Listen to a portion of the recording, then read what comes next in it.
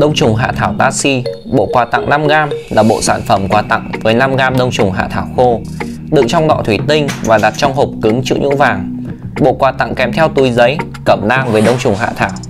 Cách thiết kế này thể hiện sự trân trọng của người tặng quà với người được tặng.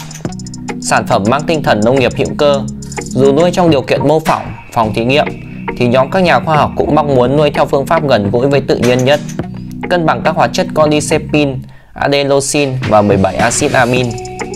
Với cordycepin được kiểm nghiệm có kết quả hàm lượng cao, đông trùng hạ thảo taxi hoàn toàn có thể tạo ra một vị thế mới về chất lượng, sự cam kết. Cảm ơn sự yêu ái của quý khách hàng. Đông trùng hạ thảo taxi hiện đã có mặt ở Thái Bình và hầu hết các tỉnh thành trong cả nước. Taxi theo tiếng Tây Tạng là sự may mắn, hạnh phúc. Lý do chọn tiếng Tây Tạng làm thương hiệu sản phẩm là vì nguồn gốc đông trùng hạ thảo từ Tây Tạng. Đông trùng hạ thảo là sự kết hợp hiếm hoi kỳ lạ của tự nhiên giữa loài sâu và loài nấm. Sự kết hợp này là sự may mắn được thiên nhiên ban tặng cho con người một nguồn dược liệu vô cùng quý giá.